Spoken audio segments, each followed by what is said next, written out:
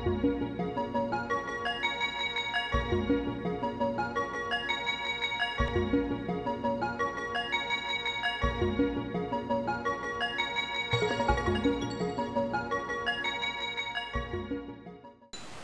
Raf de Naze, die grote kampioen, die dus beschikt over dat vliegend wonder.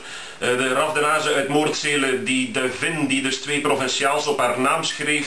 eh, die man die heeft toch wel werkelijk zijn uiterste best gedaan om ook straks in de Kat en Oppasselt het beste van het beste ons te gaan presenteren. Hier een de Vin, ringnummer 4100104 van het jaar 2007. Formidabele geste van Raf de Naze komt rechtstreeks sportvrienden uit de Lucky One, een rechtstreekse van Erik Lemboer, alstublieft. De moeder is het Vaal Amber van Erik Hofman, ook weer uit zijn beste duiven, de Ambiorix, de Javana, allemaal duiven. In de derde generatie zien we dan natuurlijk dat legendarische koppel, die Ivan Hoe en de Jane. Het stamkoppel bij Erik Hofman.